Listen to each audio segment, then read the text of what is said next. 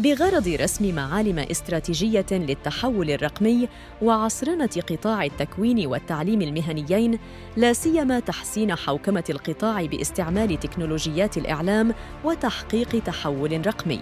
كان اللقاء بولاية باتنا بحضور وزير التكوين والتعليم المهنيين ووالي ولاية باتنا والوالي المنتدب لولاية بريكا ورئيس المجلس الشعبي الولائي لولاية باتنا.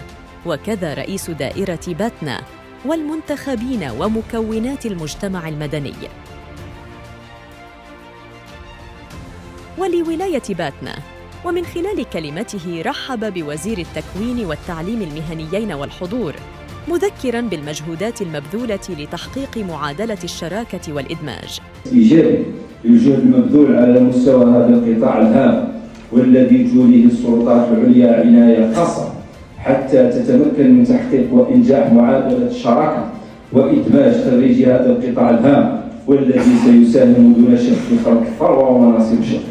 إن وجودكم اليوم كفعاليات مجتمع مدني هو محطة مهمة في مسار الشراكة الاستراتيجية التي أقرها السيد رئيس الجمهورية والتي ما فتئ يوصي بها منذ انتخابه وهي استراتيجية رئيس الجمهورية المعتمدة على التشاور والتشارك على برنامج واضح المعالم من خلال الديمقراطية التشاركية وفتح فضاءات واختصاصات جديدة لاستقطاب الشباب وفق طموحاته وميولاته. وكذا تقريب وجهات النظر بين المتعاملين الاقتصاديين والمؤسسات التكوينية مؤكدا أن قطاع التكوين والتعليم المهنيين خطى خطوة نوعية في استعمال تكنولوجية الإعلام. وزير التكوين والتعليم المهنيين أكد أن اليوم المفتوح على مكونات المجتمع المدني لتعريف بالتخصصات. وكذا رقمنة القطاع وخلق تخصصات تتلائم مع طموحات الشباب. المبادرة برسم معالم استراتيجية واضحة المعالم لتجسيد هذا التحول الرقمي من خلال الاعتماد على مقاربة تهدف إلى رقمنة وعصرنة القطاع بواسطة تحديث أدوات التسيير التقني والبيداغوجي والإداري والمالي وعصرنة منظومة المتابعة البيداغوجية باعتبار كل ذلك من بين إحدى المحاور الأساسية المدرجة في برنامج نشاط القطاع الواردة في مخطط عمل الحكومة. وتعتبر منصة تسيير إحدى العمليات الأساسية المتضمنة هذه الاستراتيجية على المدى القريب والتي نسعى من خلالها إلى إضفاء المزيد من المرونة والشفافية على مختلف الأعمال والأنشطة المنوطة بالقطاع في شتى المجالات.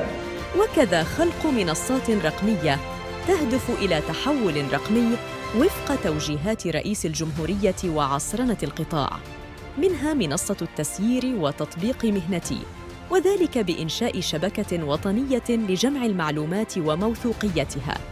تحضيرا للأرضية الرقمية التقنية وتوطين المعلومات وتأمينها بمركز البيانات وقدم مدير التكوين والتعليم المهنيين بباتنا المؤشرات الخاصة بالتكوين المهني بباتنا مذكرا بعدد مراكز التكوين المهني وعددها 24 مركز.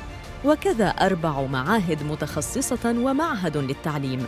وإن باتنا كانت سباقة في إدراج جميع المعطيات والمؤشرات بالمنصة الرقمية وكانت حصيلته إيجابية بشكل كبير مشفوعة بالأرقام والنتائج. وخلال اللقاء طرحت عدة انشغالات الخاصة بقطاع التكوين المهنيين بباتنا وكان رد الوزير على هذه الانشغالات ايجابيا. وفي الأخير تم إبرام عدة اتفاقيات بين مدير التكوين والتعليم المهنيين وعدة قطاعات صناعية وكانت محادثات جانبية مع وزير القطاع.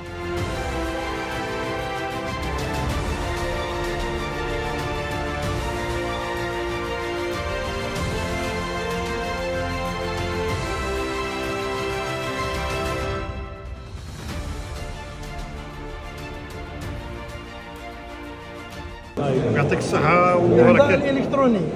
راه تجاوز كاع البكالوريوس سيدي الوزير راك نجحت في التكوين المهني يعطيك الصحة وسيرتو الوالي تاعنا والمدير تاع التكوين المهني. راهم واقفين وراهم يعاونوا فينا يعطيهم الصحة.